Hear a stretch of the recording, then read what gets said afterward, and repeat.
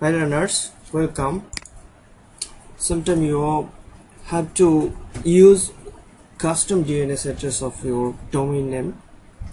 So if your domain is registered into namecheap.com then uh, you can follow this tutorial after you successful login you can see like this page and uh, here is number of domain in your account you click on view and first thing is you have to collect your hosting IP address like this. This is my hosting IP address so I I can uh, I can have a custom DNS address of my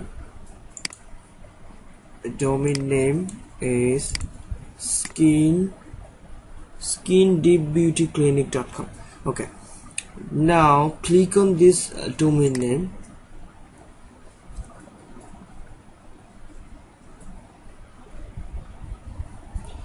okay. Now click on server name server registration. This is advanced option but uh, you can easily get like this.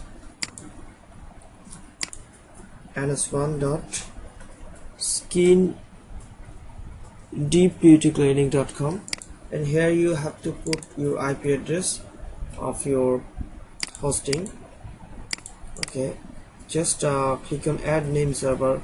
This is uh, it's look like pretty okay in default we we want ns1 dot skindeepbeautyclinic.com ns2 dot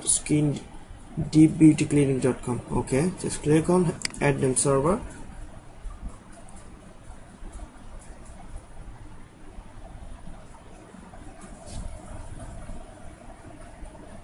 that is successfully. Okay now we need to need to add here from domain name server setup. Uh, in defaultly every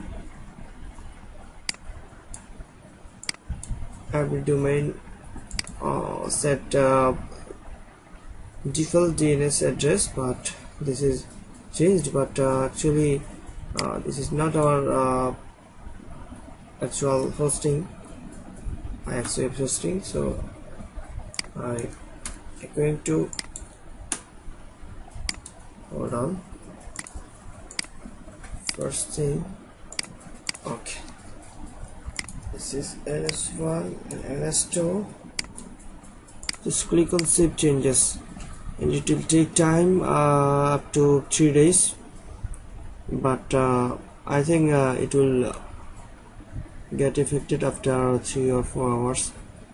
Okay? Everything up on system. Just wait for update and once you see index off then uh, that means uh, this JS is working properly. Thank you